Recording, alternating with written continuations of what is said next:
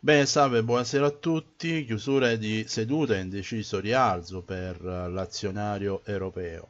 eh, a sostenere i mercati le attese per un accordo al congresso americano su un nuovo piano di stimoli, di aiuti e le parole di Donald Trump che ha promesso un taglio alle tasse sul capital gain e una riduzione delle tasse per i percettori di redditi ben medi. Buone notizie anche per quanto riguarda sul fronte virus, secondo il tracker del New York Times i nuovi casi negli Stati Uniti sono diminuiti del 18% negli ultimi giorni e le nuove morti del 6%. Questa situazione quindi ha spinto al rialzo le principali piazze finanziarie europee con il DAX che è chiuso a 2,04%, IBEX a più 2,95%, Parigi a 2,41%, Londra più 1,68% ed Piazza Affari che chiude con un'ottima performance a 2,77%. Per quanto riguarda le news che sono state rilasciate nella seduta odierna, il tasso di disoccupazione della Gran Bretagna si attesta al 3,9% su tre mesi a giugno e secondo la rilevazione dell'ILO, l'Organizzazione Internazionale del Lavoro, il dato è stabile rispetto alla passata rilevazione con il mercato che indicava un tasso al 4,2% mentre la fiducia dei consumatori in Germania risulta in deciso miglioramento nel mese di agosto. L'indice ZEV sulle aspettative per il mese in corso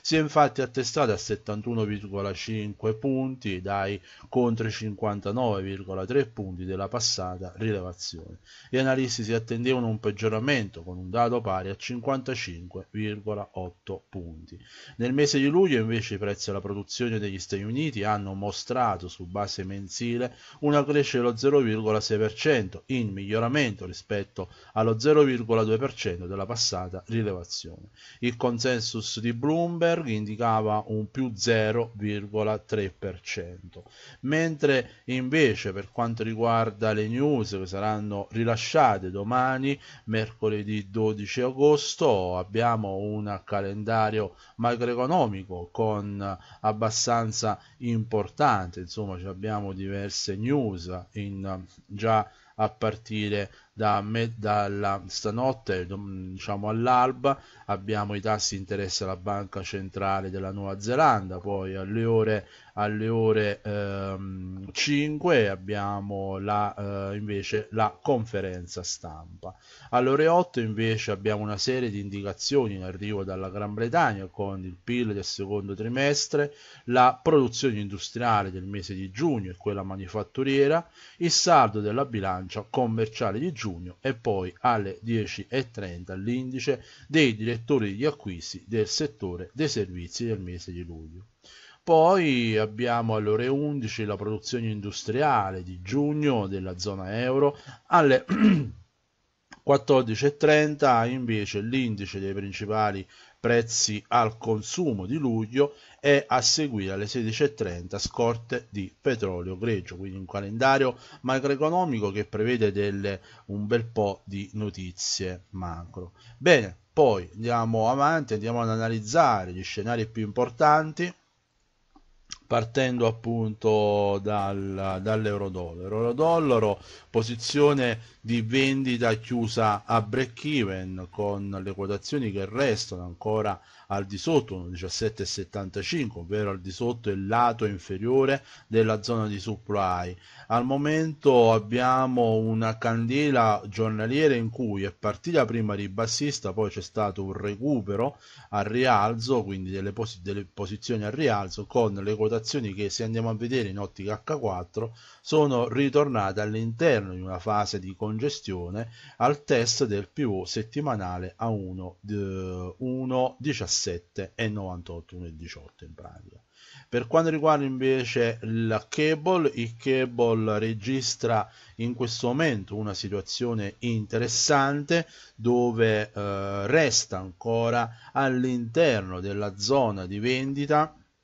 eccoci qua con le quotazioni che si sono portate dopo una, una fase rialzista poi sono ritornate un'altra volta al ribasso. Quindi questa è una ulteriore setup un ulteriore eh, rimbalzo il test di nuovo di questa zona di supply. Da qui domani ci potrebbe, potrebbe essere la giornata giusta per opportunità di vendita. Primo eh, setup ribassista molto probabilmente potrebbe essere questi 230 punti al test di questa zona ulteriore zona eh, praticamente eh, di, eh, di rimbalzo. Poi andiamo a vedere un po' anche la situazione su Auto SD eh, abbiamo anche in questo scenario partiamo dal settimanale in quanto siamo ancora in una zona di supply vedete quindi al di sotto e domani potrebbe essere interessante per opportunità di vendita. Ha collegato in analisi multi time frame anche al 4 ore dove abbiamo questa trend line tracciata in maniera perfetta dove ogni volta che il prezzo va ad prendersi questa zona praticamente eh, quindi inizia a, a, è stato ogni volta respinto proprio in maniera molto molto precisa. La rottura di questa trend line l'uscita da questa zona diciamo eh, una zona dei massimi quindi fondamentalmente abbiamo una zona di distribuzione potrebbe iniziare una movimentazione al ribasso mentre invece per quanto riguarda USD CAD continua a movimentarsi sell primo target raggiunto nella giornata odierna 1.39 e 1.32.95 adesso abbiamo spostato lo stop loss a break even e in questo frangente la situazione molto probabilmente potrebbe andare a chiudere questa zona per poter chiudere questa movimentazione ciclica New Zealand dollaro, New Zealand dollaro ci sono ottime possibilità di un'operazione di vendita con, eccoci qua, eccola qua, molto bella, molto interessante, a 0,6560 un breakout qua sotto potrebbe iniziare il, un bel movimento ribassista, quindi vedete abbiamo 1, 2, 3, ottica settimanale, qui ottimo setup di ingresso in vendita. Su 4 ore la rottura della trend line che si sta portando sotto 0,6570 a livello annuale, ottimo per movimentazioni sell. Passiamo all'oro, oro vendite oggi a man bassa, praticamente abbiamo preso un bel po' di profitto, abbiamo anche altre operazioni eh, operazioni in eccoci qua vedete movimento bel movimento test sul 423 questo è ottica settim- mensile test 423 127 20 sulle estensioni di Fibonacci ultimo pezzo quindi da qua potrebbe dare atto a un ulteriore movimento sell e eh, ci stiamo avvicinando eh, eccolo qua movimento bellissimo movimento settimanale questo è quello della giornata dove se andiamo a vedere è andato giù di oltre 950 punti quindi oltre i 1950 che era la prima zona utile per opportunità di vendita primo eh, prossimo target potrebbe essere il 1904,86 pivot mensile. La rottura del pivot mensile potrebbe catapultare verso 1850 i prezzi del petrolio eh, del gold. Mentre invece per quanto riguarda il petrolio la view sembra maggiormente diretta per opportunità di acquisto eh, il prezzo superato questa zona di massimo, quest'ultimo punto di swing esattamente in area eh, 43 e 45 potrebbe dare atto a un bel movimento al ribasso dove nel lungo termine potrebbe andare a prendere questa zona di, eh, eh zona di resistenza.